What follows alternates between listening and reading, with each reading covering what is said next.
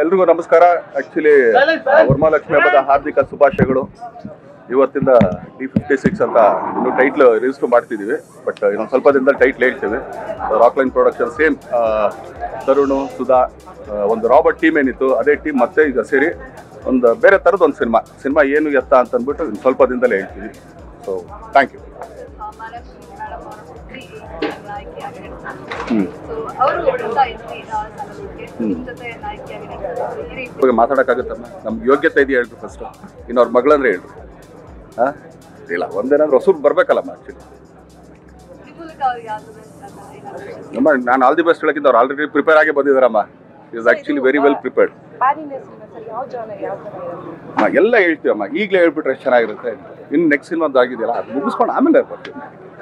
ನಿಮ್ಮ ಲುಕ್ ಬಗ್ಗೆ ತುಂಬಾನೇ ಕ್ಯೂರಿಯಾಸಿಟಿ ಕ್ರಿಯೇಟ್ ಆಗ್ತದೆ ಪೋಲಾಂಡಿಂದ ನೀವು ಬಂದಿದ ತಕ್ಷಣ ಹಾ. ಲುಕ್ ಬಗ್ಗೆ ತುಂಬಾನೇ ಅಭಿಮಾನಿಗೆ ಕ್ಯೂರಿಯಾಸಿಟಿ ಅಮ್ಮ ನಂದೇನಿಲ್ಲಮ್ಮ ಇದೆಲ್ಲ ತರುಣ್ದಮ್ಮ. ಸ್ವಲ್ಪ ಏನೇ ಎಕ್ಸ್ಟೆಂಡ್ ಮಾಡಿದೆ ಅಷ್ಟೇ ನೀನು ಏನು ಮಾಡ್ಸಿಲ್ಲಮ್ಮ ನಾನು? ಜಾ ಚಲೋ. Thank you